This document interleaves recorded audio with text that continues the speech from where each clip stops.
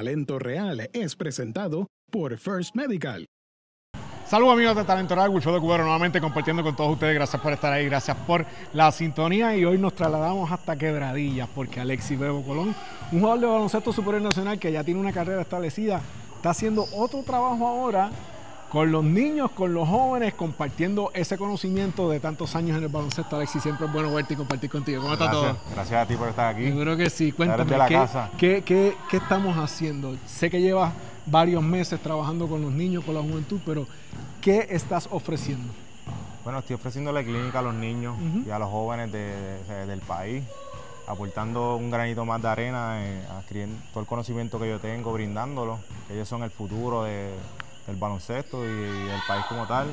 Y aquí entreteniéndome con ellos, Qué aprovechando bien. el tiempo. Vi que tienes varias categorías, vi que tienes desde pequeñito, un poquito eh, más jovencito, ya nenes grandes como tal, los trabajas una hora uno, otra otro, pero para las personas que nos están viendo, comienzas bien temprano y te extiendes un poco en, en la noche. Sí, empiezo a las cinco y media, como está el primer grupo, yo llego un poco antes para acomodar las cosas, Claro. Pero empiezo desde los cinco años. El más pequeño tiene cinco años por cumplir seis. Qué bien. Hoy mismo me escribió uno de tres años. Qué Me enviaron videíto y yo, mira, un poquito complicado, pero se puede trabajar. Que todo lo que sea para aportar y lo que sea para un bien, aquí estamos dispuestos para hacerlo. ¿Y hasta qué edades estás trabajando los nenes? Hasta 17, 18, de la high school más o menos, tengo los más grandes. Oye, y hay niños y niñas también. Niñas, niñas, ahí de las dos, yo amo a las niñas, a los niños también, pero con las niñas me identifico más. Pero es un papá que tiene nenas, Tengo así nenas. que... So, que ahí es un proyecto, los nenes a- por, por naturaleza tienen mucho, un poquito más habilidad, las niñas hay que llevarla un poco más, pero bien contento, ¿sabes? ¿Qué, qué, qué trabajas con ellos? O sea, ¿qué áreas estás trabajando con los niños y las niñas que dicen presente? De todo, los fundamentos, como situaciones de juego, diferentes situaciones, pero se trabaja de todo en especial, ¿sabes? Pues, semanalmente se van cambiando los entrenamientos, para que no se me aburran, porque son niños que ellos buscan estar entretenidos, porque si se te aburren, después no van a querer venir. Qué Y bien. busco siempre semanalmente cambiarle y buscarle jueguitos que tengan que ver con, con algún propósito. Que ¿Y de, de dónde surge esta idea, esta curiosidad que tú tienes por, por- por hacer este trabajo? Mano, me, me encanta, yo soy pro niño, a mí me encanta compartir con los jóvenes, con los niños, siempre que los veo le busco la vuelta. Me encanta, tengo una hija, tengo el nene también que va creciendo, que ese es el próximo que viene para acá también. Como que soy así.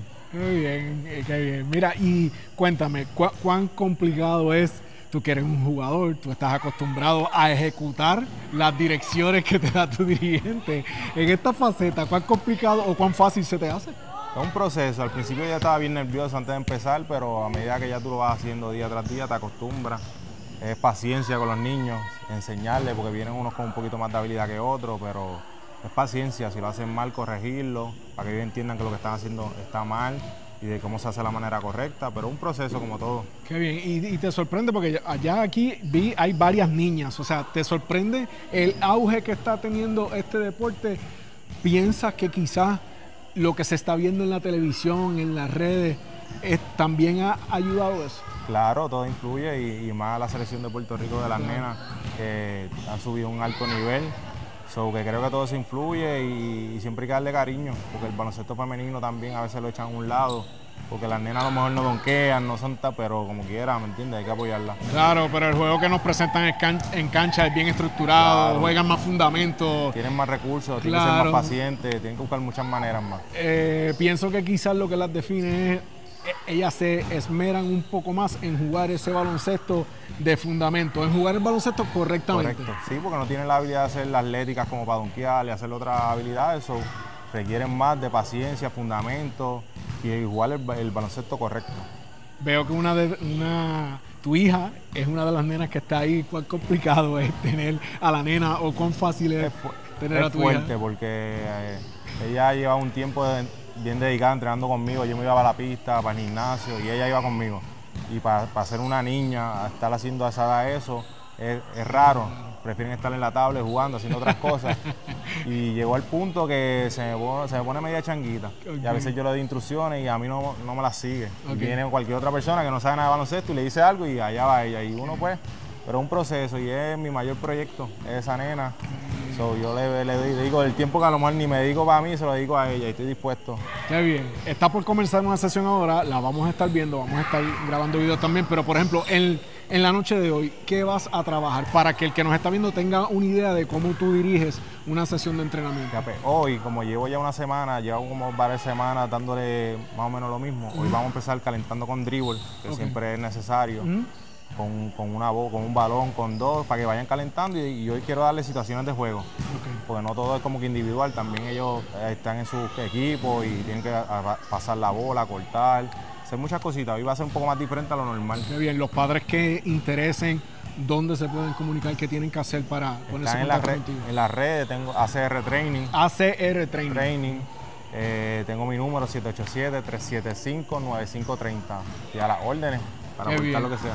Antes de irme, sé que tienes un evento bien importante el próximo 30, ¿correcto? 30 de noviembre y 1 de diciembre. Ok. En ¿Qué- las canchas qué- dobles de Isabela. ¿Qué va a pasar ahí? Eh, un- es casi un evento lo que tengo. Eh, llevo muchos invitados, tanto como jugadores, como coaches. Es un torneo, Es un campamento. un campamento, ok. Es de 9 de la mañana a 1 de la tarde. Se- ahí se brindan los fundamentos. Con, llevo muchas personas que me van a ayudar para el staff, que cada cual brinde su, su conocimiento, que yo no me lo sé todo. So, llevo personas que, que piensan diferente, tienen otros detalles.